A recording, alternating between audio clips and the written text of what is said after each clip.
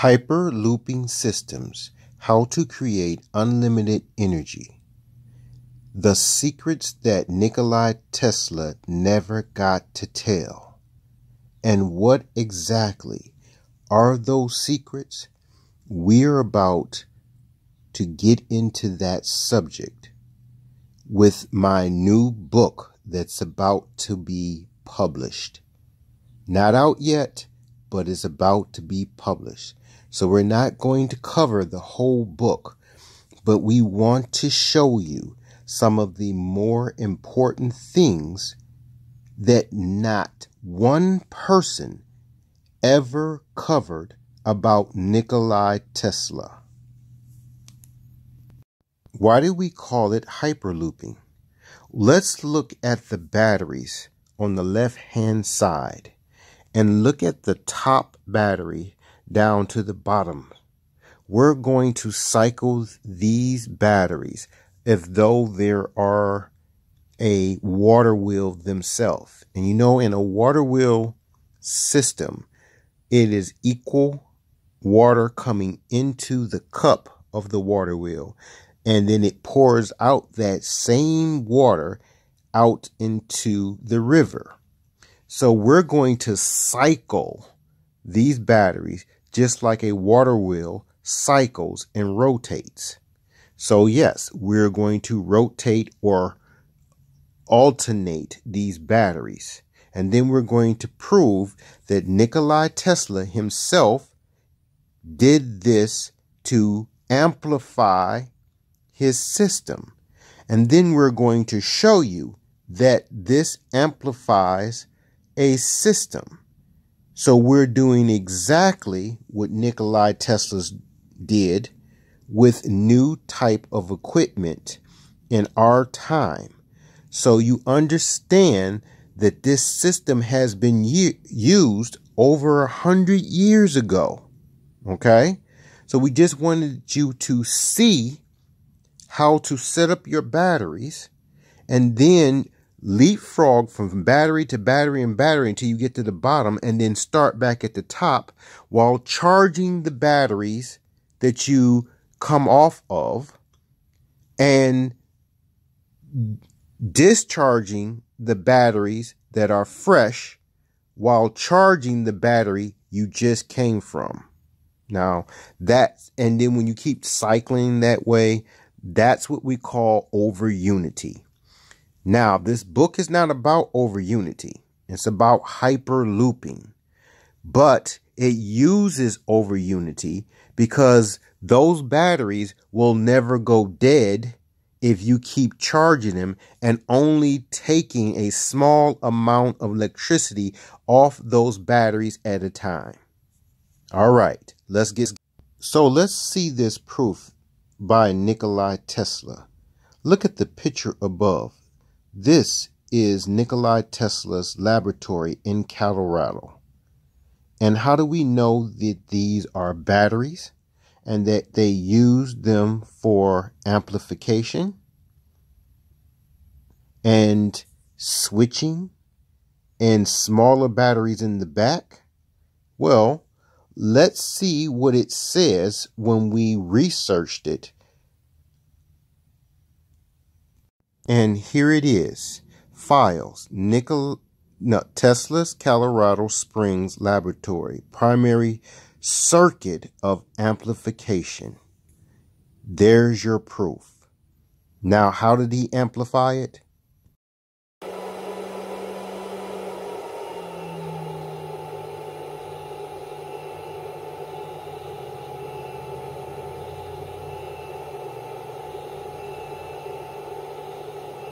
See how it's steady and um, it's not fluctuating like it was the last time that's due to the batteries being full and you see it's dropping really fast.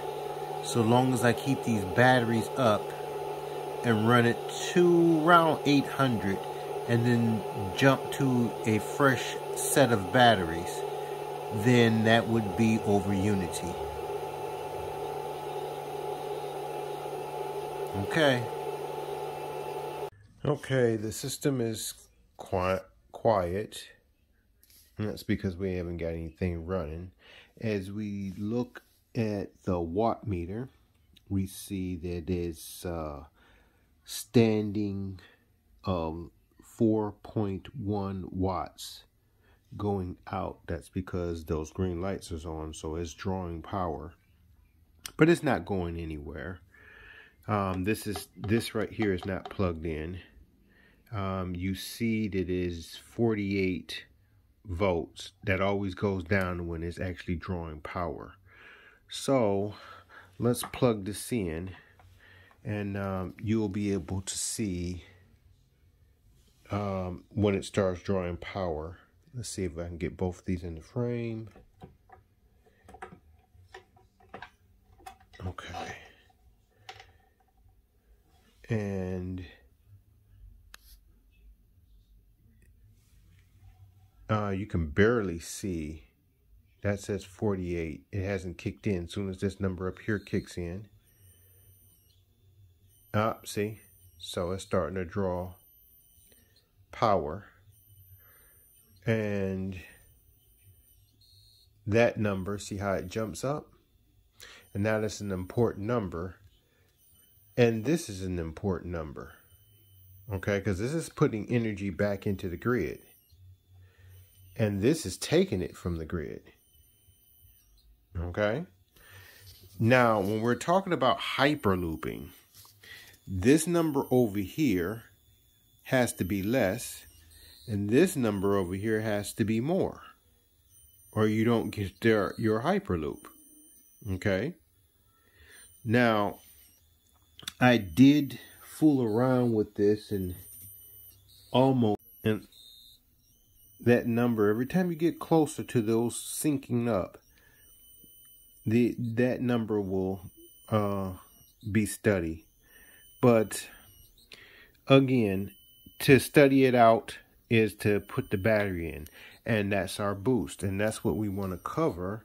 Is that this number instead of 123, you know, and, and you have it right, and that one is saying 140 um, is lower so right now, this number is higher. It's putting out, see where it jumped up to 80, then it goes down to 60. These numbers are way higher than these numbers. So, again, when we want to hyperloop and we start putting in that battery power, that's why it's so important about over unity.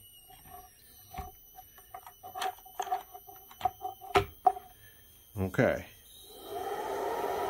Look at that number here.